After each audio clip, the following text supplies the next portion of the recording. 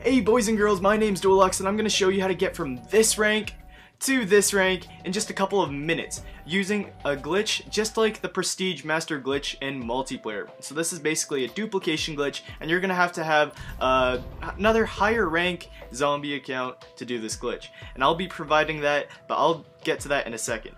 So as you can see, you need a second controller, sign into it as a guest. Now scroll up to custom games using your primary controller and find a game in any map.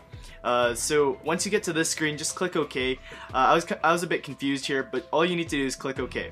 Uh, what you want to do now is using your primary, click circle and click up using your secondary controller and click yes using your second secondary controller.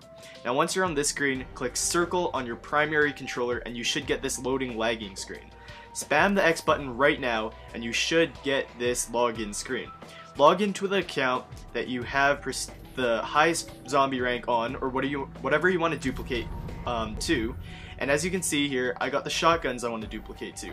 Now this duplicates everything, even the kills. Alright, so now go to custom game again. Uh, just click on any map, it doesn't really matter. So I click on TranZit here again.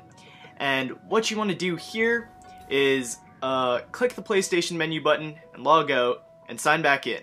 And I'll show you this here, right here, uh, in a sec. And yeah, as you can see, click triangle all over account management, click sign out, and once it's done, just click sign back in.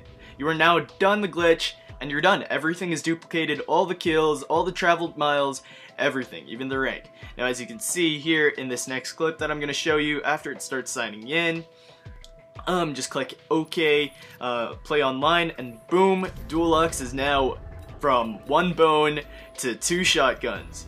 Uh, basically, as you can see there, it's super easy. I'm to provide this account for everybody to do this glitch for free. Now, you are allowed to provide a donation. That would be very kind of you guys. Uh, it doesn't really matter. Anything, any donation is fine for me. I really appreciate anything you guys supporting me.